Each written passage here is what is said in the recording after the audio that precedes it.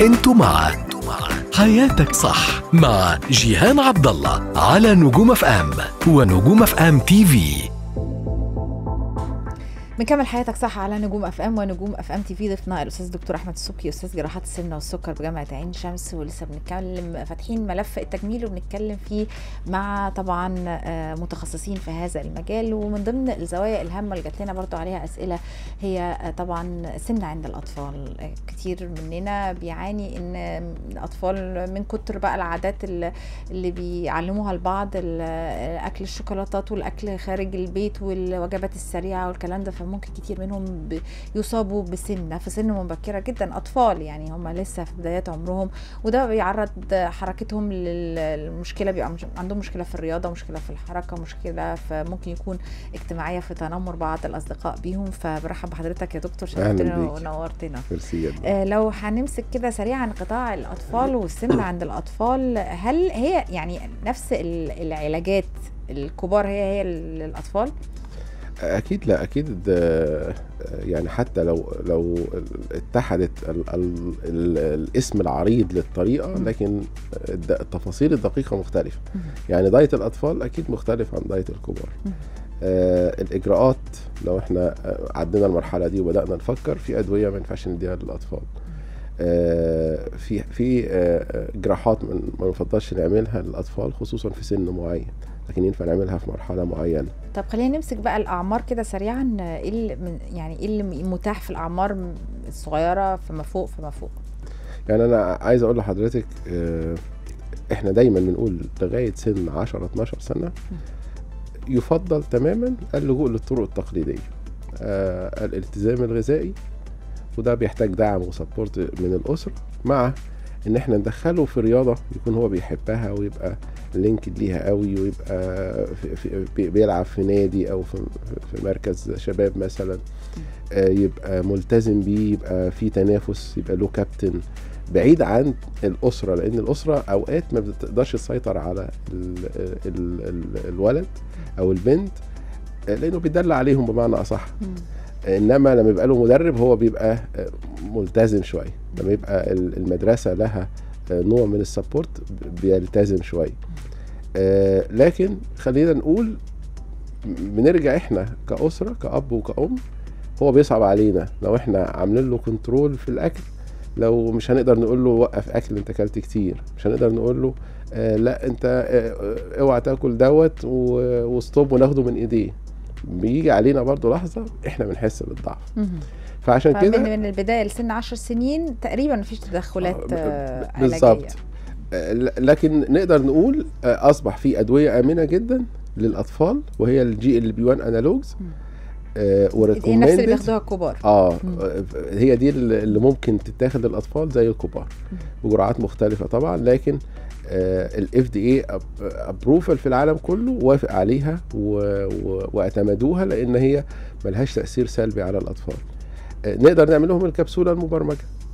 من بعد سن العشر سنين نقدر نقول إن الطفل لو عشان نحسسه بالشبع الدائم نزود الحرق حتى من غير ما نطلب منه إنه يعمل رياضة آه، نحسسه بقناعة على كمية بسيطة من الأكل ودي مهمة صعبة ما بنقدرش عليها آه، بسهولة آه، إنه ياخد الكبسولة المبرمجة. كبسولة بيبلعها بسهولة آه، بتدخل جوه المعدة تبقى بالون يبقى هو طبيعي عنده إحساس دائم بالشبع كأنه واكل طول الوقت. دي بتاعت الكبار برضو هي الكبسولة آه الذكية. بالظبط آه.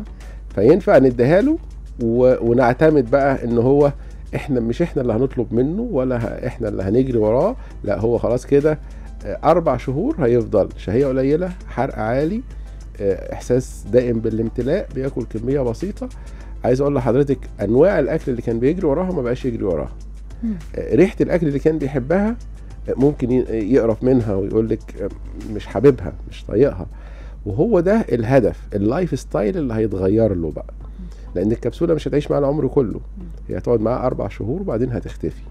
لكن هتسيب معاه ال lifestyle اللي اتعود عليه وتغير عاداته والدليفري اللي كان لازم بالليل نطلبه آه، بأنواعه المختلفة وال chocolates والكيك وال ice cream اللي كان بيجري عليه. كل ده عادات عنده أربع شهور آه، الأسرة هتحس إن هي اتغيرت عنده. آه، لو إحنا قدرنا بقى نحافظ على الكلام ده يبقى إحنا كأننا عملنا له عملية تعيش معنا العمر كله. من غير ما نلجأ لجراحات. لكن كجراحة بقى إمتى حضرتك تقول لأ الطفل ده لسه بتتكلم على الطفل يتعمل له جراحة ولا مش محبس خالص؟ لأ آه، بالعكس. ال- ال- ال- الفيدرالية الدولية لجراحات ال- السمنة بعد دراسات طويلة جدا لقت إن في نسبة كبيرة من الأطفال هم مهما عملوا بالدايت وبالرياضة ومهما اديناهم وسائل مساعدة هم هيرجعوا يتخنوا تاني. جينات المشكلة بقى ولا إيه؟ آه بالظبط. هي جينات وكيمياء جوه ال- الجهاز الهضمي. وأنا قلت لحضرتك قبل كده آه الناس معتقدة إن الهرمونز هي الهرمونز بتاعت ال- الهرم- الهرمونات بتاعت الغدة الدرقية والكظرية والنخامية. الغدد الصماء اللي الخمسة اللي إحنا عارفينهم. لا الموضوع مش كده. إحنا عندنا الجهاز الهضمي آه، أكبر آه، محتوى هرموني في الجسم كله. آه، عايز أقول لحضرتك مفيش سنة بتعدي ما يكتشفش خمسة ستة هرمونز لها تأثير قوي في الميتابوليزم وفي الزيادة في الوزن أو التخسيس. فالعمليات هي بتغير الكيمياء الغلط. هرمون الجوع بيقل. الهرمون اللي بيقلل الحرق بيقل فالحرق بيزيد جدا. الهرمون اللي بيعمل مشاكل زي الضغط والسكر في الأطفال بيختفي. ال insulin resistance ومقاومة الجسم للانسولين بتختفي. يبقى إحنا بنطلع طفل آه، سليم صحيا ونفسيا. خد بال حضرتك هو الطفل مش هيفرق معاه كلمة صحيا دي قوي في الأول. مم. هو آه، تخين بس بيقدر يجري ويلعب لكن هتفرق معاه نفسيا جدا. بعد كده قدام بقى لا ولا وحتى هو في المدرسة. في المدرسة. لسه قايلة. التنمر تنمر. مم. آه، التنمر على فكرة مش لازم هو يشتكي. ده هو ممكن نظرة زمايله ليه. لما بيجي مثلا في ال class بتاعه يحاول يتكلم أو يضحكوا يخليه ما يظهرش ما يتكلمش. مم. يخلي عنده self unconfidence في ثقة في النفس. مم. هو مش قادر يعبر عن نفسه هو خايف يظهر. هو خايف يشارك لأن حاسس إن في حد ممكن يعلق عليه بطريقة أو بأخرى. مع إنه ممكن يبقى smart جدا ممكن يبقى ذكي. بس محكوم عليه آه، بإن هو ما يظهرش. للأسف. ودي نقطة ممكن تغير في في في, في الماركس بتاعته الدراسية. آه، في ناس على فكرة يعني أنا عايز أقول لحضرتك أنا جات لي أمهات آه، بيعيطوا ابنهم مش عايز يروح المدرسة أصلا. فإحنا وصلنا للدرجة دي. طب تخيلي بقى إن هو لما بيكبر شوية ممكن يبقى مستواه الدراسي عالي جدا وشهاداته عالية لكن وزنه الزائد يمنعه إنه ياخد بوزيشنز معينة وكارير معين. تخيلي بقى لما يجي يتجوز أحيانا تبقى مشكلة كبيرة إن ده يعوقه من إن هو يرتبط بإنسان هو عايز. لا الموضوع مش سهل. الموضوع ممكن يغير حياة إنسان بالذات في السن الصغير. وده من أكتر الحاجات الحساسة. الشخص الكبير هو عايز يعيش لغ- لغاية آخر لحظة في عمره بصحة كويسة. هو بيبص للصحة. لكن الشباب الصغير ده هو بيبص لحياته من أول لحظة شغله آه، آه، اندماجه في المجتمع شخصيته ده بيبني شخصية. فلما يبنيها وهو عنده ديفو للأسف كل ما بيكبر كل ما الديفو ده بيزيد. أكيد طبعا. طيب إحنا بنتكلم لسه عن السمنة. بعتوا لنا أسئلتكم على 015 595510006 سواء عايزين تسألوا عن جراحات أو بدون جراحة أو سمنة موضعيه أو أطفال لسه مكملين فبنستقبل أسئلتكم. ونرجع بعد الفاصل إن شاء الله نستكمل بقية الموضوع. حياتك صح مع جيهان عبد الله على نجوم FM ونجوم FM TV. بنكمل حياتك صح مع الأستاذ دكتور أحمد السبكي أستاذ جراحه السمنة والسكر بجامعة عين شمس. في سؤال يا دكتور بيقول أنا جسمي مظبوط بس المشكلة إن عندي كرش ومش عايز يروح مع إني جربت أعشاب التخسيس كتير وما بتعملش حاجة غير إنها بتعمل إسهال وبس. هو الحقيقة طالما إحنا عندنا سمنة موضعية بيفضل إن إحنا ن- نلجا لحل موضعي. آه، في نسبة كبيرة من الناس بتبقى الدهون خارجية فبنفضل إن إحنا نعمل النحت بال Vaser. اللي هو بيكسر الخلايا الدهنية وبيشد الجلد ويرسم ال curves بتاع الجسم ويرسم العضلة ممكن نعمل بيه 6 packs ال V line يعني بن- بندي شكل آه، حاليا آه، مثالي جدا. في بعض الناس بيبقى الكرش للأسف دهون داخلية مش خارجية. آه، ده ما ينفعش معاها النحت بال Vaser. لكن بنقدر نديهم حاجة زي الكبسولة المبرمجة اللي تخسسهم 15 20 كيلو. عادة بيكون هو كل الوزن ده في البطن. لما الدهون دي بتسيح بتضيع الدهون اللي على الكبد الدهون اللي حوالين الأمعاء الدهون اللي حوالين الكلى. آه، البطن بتهبط تماما وبتاخد الشكل الطبيعي المثالي من غير أي تدخل جراحي. وده مع ال- التقنيات اللي حضرتك قلت عليها سواء كبسولة أو التقنية الثانية اللي هي ال Vaser النحت Vaser. بال Vaser آه. okay ده لازم diet لازم أقلل اكلي وأظبط أكلي برضو مع ال- الموضوع ده. النحت بال Vaser لا نتيجته فورية وحتى الشخص لو لخبط آه، ما بيرجعش تاني لأن ال- ال Vaser بيكسر الذبذبات نفسها بتكسر الخلايا نفسها بتكسر ال cell membrane جدار الخلية بال واكل اللي أنا عايزاه. اللي جوه الميتوكوندريا اللي جوه. ما بقاش فيه خلية ما فيش نواة آه. تخزن دهون. فأصبح المكان ده غير صالح لتخزين الدهون. لكن ال- الكبسولة من الحاجات البسيطة السهلة اللي بتدينا lifestyle وشهيه قليلة وحرق عالي. لو حافظنا عليه النتيجة تدوم. لكن أكيد later on لو إحنا زودنا سنة سنة في في الأكل رجعنا العادات الغذائية القديمة هتلاقي الشهية رجعت تفتح تاني هتلاقي ال ال ال نفس الموضوع بس هنرجع نزيد كيلو في اتنين. اللي بياخد باله ويرجع يظبط نفسه بيحافظ لكن اللي بيستمر أكيد ممكن يرجع تاني. حضرتك تقول لنا حاجة تنفع مع حلاوة المولد. لا. إيه اللي ينفع مع حلاوة المولد اليومين دول؟ دي ملهاش حل بقى. ملهاش حل. نعدي الفترة دي زي ما هي يعني. أنا عايز أقول لحضرتك حاجة. آه. انت ممكن تاكلي من كل حاجة. يعني أصل ده season once أو twice مرة مرتين في قبليه مش دي المشكلة. آه، هي- هي seasons كتيرة دايما المشكلة في ال frequency آه. يعني عشان كده ال- ال- ال- قال في يوم free في الدايت. آه، ما خسرناش حاجة ليه أصل هو يوم ايا كان هناكل قد إيه لكن في الآخر هيبقى أبسط بكتير من إن أنا أبقى كل يوم عندي حاجة أو حاجتين غلط. يعني ال frequency بيضر أكتر من إن أنا إن أنا أجي في مرة وألخبط شوية آه يعني التكرار أو الثبات على اللخبطة بالظبط. آه، لكن مرة أو كده ما بتعملش مش مشكلة. هي دي اللي هتبقى المشكلة بالنسبة لي بخصوص الكبسولة السؤال اللي بيتكرر كل مرة حي... ما هو الاسم العلمي لكبسولة المعدة وتكلفة النوع الجيد منها وشخص هشام بيسأل من كاليفورنيا. ده هو في مكانها يعني هي ال- ال- ال- ما هو زر الالون يمكن عشان يعرف الامريكي. الوريان آه. وهي ال- دي made in USA و FDA approved في العالم كله دلوقتي. آه في سؤال آم، شاب عنده عشرين سنة بيعمل دايت وبيتابع مع coach online هو وزنه آه كرش برضه نفس مشكلة آه الكرش. وتظبيط مشكلة عضلات البطن الجسم. من المشاكل.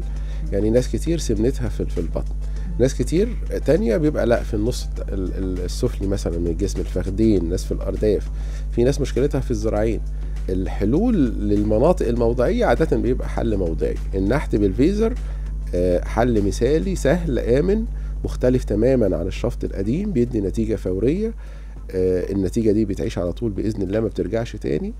آه، ما فيهوش بقى المشاكل والإجهاد القديم وبيطلع الدهون صافية من غير دم مفيش فترة نقاهة طويلة ملوش أعراض تضايق. آه، لكن خلينا نقول هو آه، بدون جراحة آه، لكن يعتبر عملية لكن غير جراحية. بيعتمد على إبرة رفيعة صغيرة بتدخل من تحت الجلد. هي بتطلع ذبذبات بتسيح الدهون في سيشن واحدة آه، ما بنحتاجش إن إحنا نكررها أو نعمل جلسات أو حاجة زي كده. طب نرجع يا فندم لموضوعنا لما كنا بنتكلم عن سمنة الأطفال واتكلمنا فيما يخص ال- اللي هو يعني التعامل مع السمنة بدون جراحة. إيه بقى الجراحات اللي ينفع مع الأطفال؟ يعني في سن ال- الأطفال والشباب الصغير والادولوسنس أو سن المراهقة بنفضل العمليات اللي ما بتحتاجش متابعة ضرورية زي عملية تكميم المعدة. آه، التكميم بالطريقة الحديثة ال- الطفل ما بيحتاجش فيتامينز ما بيحتاجش أي نظام غذائي معين ممكن يمشي عليه. هو الفكرة إن هو معدته صغرت الشهية قلت هرمون الجوع ما بقاش موجود لكن بيجوع لكن بنسبة بسيطة بيشبع بسرعة.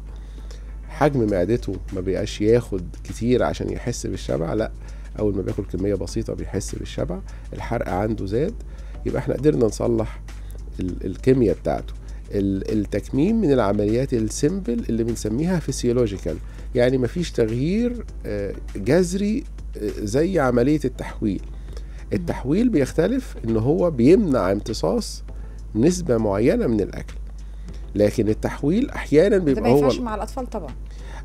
يعني ما بيفضلش. آه. لكن أحيانا نلاقي الطفل عاداته الغذائية كلها سكريات وحلويات وش- و chocolates وكلام زي كده. آه لا ساعتها بنقول التحويل ونديله vitamins سنة وال vitamins دلوقتي بقت candy كده بطعم الشوكليت و... برضه تاني آه، يعني- بس هي vitamins آه. لكن أقصد. آه لا بقى في حلول لكل حاجة. يعني التطور دايما بي- بيشوف إيه المشكلة اللي موجودة عشان نقدر آه، ن... ن... ن... يعني ما يمنعناش من إن إحنا ناخد ال benefit أو الفايدة من إجراء معين.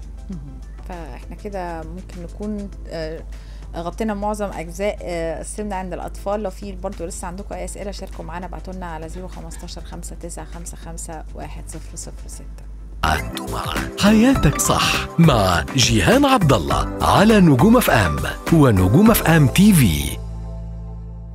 مكمل مع دكتور أحمد السبكي أستاذ جراحة السمنة والسكر بجامعة عين شمس موضوعنا النهارده. بنتكلم لسه عن السمنة واتكلمنا عن سمنة آه، عند الأطفال بالتحديد. ولكن برضو بنستقبل أسئلتكم في العموم أسئلتكم الأخيرة شاركوا معانا وابعتوها لنا على الواتساب 015 595510006 سواء يا دكتور لو بنتكلم عن الأطفال أو عن الكبار إيه اللي بيخلي هل ممكن إن عملية تفرق نتيجتها من شخص لآخر أو من طفل لطفل لأي مكان؟ أكيد آه، جراحات السمنة جراحات غير تقليدية غير اعتيادية بمعنى إن هي بتحتاج آه، سواء خبره دكتور في طريقة الإجراء آه، بتحتاج technology أدوات بتحتاج حد على دراية و updated دايما بالجديد لأن المجال ده فيه تطور جديد جدا كل مش هقول لحضرتك كل سنة بنشوف جديد لأ كل شهر والتاني بنلاقي جديد. جديد ده سواء في طريقة إجراء العملية ممكن يبقى ابديت صغير أو تفاصيل صغيرة اتضافت آه، تحسن النتائج تحسن السيفتي أو الأمان آه، ممكن يبقى آه، في مثلا أدوات معينة اتحدثت تدي شكل معين للمعدة وده الحقيقة فرق حصل من 2018 في technology الأدوات خلى المعدة ما فيهاش حتة تبقى ضيقة آه، الأدوات بتقدر تاخد curve المعدة آه، تخلي الشخص ما عندوش القيء اللي كان مشهور عن العمليات دي. القيء كان دايما موجود وكان بيبقى مصحوب بنقص بروتين لأن كان دايما البروتين هو أكتر حاجة بتخلي المريض يحصل له قيء. آه، نقص vitamins المريض مش مرتاح أو المريضة تاكل ترجع طالما رجعت يبقى فيه آه، نقص في- مفيش آه نقص calories. في التغذية. آه شعرها بيتأثر بشرتها بتتأثر فمجهودها قليل. فتلاقيها آه، مش حاسة براحة بعد العملية. الكلام ده اتغير تماما. طب هل حتى الآن في نماذج وحشة؟ آه طبعا في بس ده لأن إحنا ما زال في بعض الناس بيرجع يشتغل بالأدوات الجيل القديم من الأدوات. لكن طبعا ال- الجيل القديم ده اتمنع بره خلاص بس هو للأسف الحاجة لما بتتمنع بره بيبعتوها عندنا بقى في, في, في يعني في الشرق الأوسط نقول يعني آه، بيسمونا العالم الثالث اللي هو هياخد كواليتي أقل. آه، للأسف إن ده بيدي نتائج وحشة. لكن ال- ال- الجيل الأحدث من الأدوات تجنب هذه المشاكل. ما بقاش فيه قيء ما بقاش فيه نقص بروتين ما بقاش فيه نقص فيتامينز مفيش آه، آه، كسل مفيش مجهود قليل المريض أو الشخص بياكل في المعقول بيخس معقول بنقدر نظبط الوزن على ال- ال- الوزن اللي إحنا عايزينه ودي نقطة ما كناش بنقدر نعملها. كان الشخص ما بياكلش كويس خالص فكان لازم يخس كتير ويبقى الخسيان بتاعته مصحوبة بدرجة من الضعف. لا دلوقتي لا بقى صحي بقى نشيط بقى عدد ساعات نومه قليلة بقى أداؤه في, في, عمله أحسن أدائها في بيتها أفضل نشيطة بتتحرك مع أولادها آه، كل حاجة اتحسنت. عشان كده بنسميها quality life index يعني ال- العملية أو الجراحات ما بقاش آه، معيار النجاح بتاعها هو النزول في الوزن. ما أنا ممكن أنزل في الوزن بس النزول يبقى الصحة. يبقى غير صحي. بالظبط. لا بقى quality life index معنى أنا نزلت في الوزن وحالتي الصحية أفضل بمعنى ضغط آه، كان موجود راح السكر راح كوليسترول ما بقاش موجود مفاصلي اللي كان عليها حمل كتير اتحسنت ظهري اللي كان بيوجعني ما بقاش مجهودي نشاطي. طيب حياتي العملية آه، بصحى في ميعادي نشيط آه، بروح عدد ساعات نومي قل بقدر أمشي مسافات طويلة بقدر أعمل مجهود قبل كده كنت أمشي انهج دلوقتي لا أمشي وابذل مجهود ما اتعبش يبقى ادائي الوظيفي آه، حياتي الاجتماعية مشاركتي مع أولادي مع زوجتي مع أصحابي لا بقيت نشيط بقى عندي آه، قدرات أعلى بكتير بقيت آه، عندي حركة. كل ده طبعا ينعكس على الحالة النفسية بقى ال- وال- والاندماج المجتمعي. لما أنا بحس إن أنا كويس بصحة عندي درجة من السعادة عندي درجة من المشاركة عندي درجة من الاندماج من الثقة بالنفس ينعكس على وظيفتي ينعكس على بيتي. يعني منظومة متكاملة آه، بي- بي- بيحدثها التحديث في عالم آه، آه، التحديث في الإجراء الإجراحي نفسه في الأدوات في ال technology في التخدير في ال- طريقة الإجراء في خبرة الطبيب. كل ده تفاصيل دقيقة جدا هي اللي بتؤدي للنجاح. أي حاجة منهم تنقص ممكن تؤدي إن النجاح ما يكملش. مش لازم يبقى فشل. بس خسيت بس عندي مشكلة. آه عملت العملية بس لما أكلت كذا رجعت تاني. كل دي آه، عيوب بتشيب النجاح لو إحنا ما التزمناش بالتحديث اللي موجود دلوقتي في هذا العالم. طب كمان من ضمن الأسئلة اللي ممكن تبقى شاغلة بالنا شوية بفكر فيها قبل اللجوء لأي جراحة طبعا موضوع التخدير لأنه بيسبب مخاوف لناس كتيرة طبعاً، أو طبعاً. لينا كلنا فهل التخدير فيه تحديث لا شك. تغيير أكيد تقدم التقدم في عالم الجراحات لازم يواكبوا تقدم في عالم التخدير لأنهم الاثنين بيكملوا بعض آه، إحنا حاليا طبعا حضرتك عارفه مرضى السمنة مرضى هم أصلا عرضة لأمراض كتير وعندهم مشاكل في القلب وحتى لو مش ظاهرة عندهم استعداد للسكر حتى لو مش ظاهر عندهم ضغط عالي عندهم آه، النفس والقدرة التنفسية مش على مستوى عالي. آه، عشان كده مراكز الأبحاث في المجال ده دورت على تخدير آمن والحمد لله من 2017 آه، لقينا حاجة اسمها rocuronium طلعت دواء حديث آه، بيدي إحساس بالنوم العميق وله ال reverse بتاعه اللي بيدي recovery تام فوري يعني يصحي المريض فوريا. التخدير ده ادانا إحساس بالأمان واحد وادى المريض إحساس بالأمان ولا له تأثير على النفس أو حاله حالة التنفس ولا له تأثير على القلب.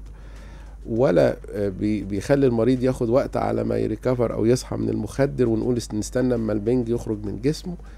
آه، لا ده هو له له، آه، حقنة بتنيمه وحقنة بتفوقه مباشرة.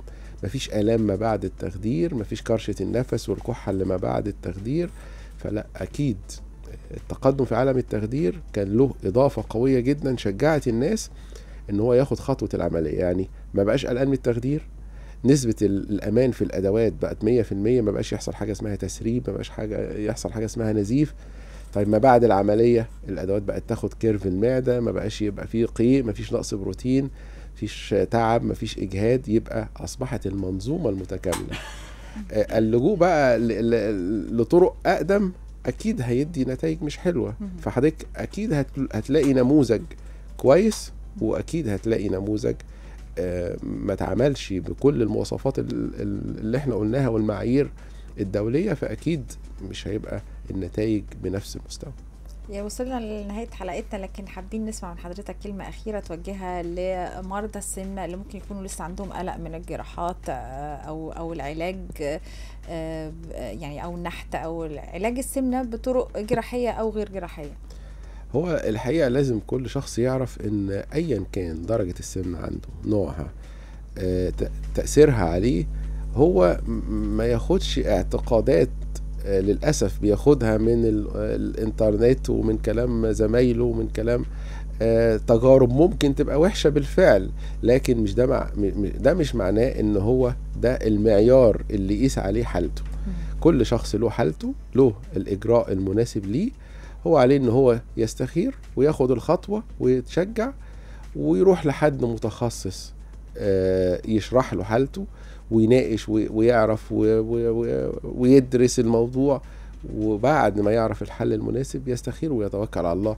لأن السمنة إحنا بنسميها مرض العصر أو هي أم الأمراض اللي موجودة في العصر كله. فما ينفعش الإنسان يسيب نفسه بيعاني من من هذه المشاكل الصحية من شبح بيطارده في كل اوجه حياته لمجرد آه، معلومة خاطئة سمعها من حد تجربة سيئة شافها مع حد لا عليه إن هو يدرس الموضوع أفضل من كده. نشكرك على وجودك معانا شكرا جزيلا. ميرسي نشكر دكتور أحمد السبكي أستاذ جراحة السمنة والسكر بجامعة عين شمس وإن شاء الله بعدنا دايما متجدد كل أسبوع دايما يوم الثلاث الساعة كام؟ الساعة 3 من 3 ل 5 بشكركم جدا. كنت معاكم جيهان عبد الله دايق هتكون موجودة معاكم يارا الجندي ومروان أدري وحلقة جديدة من كلام في الزحمة.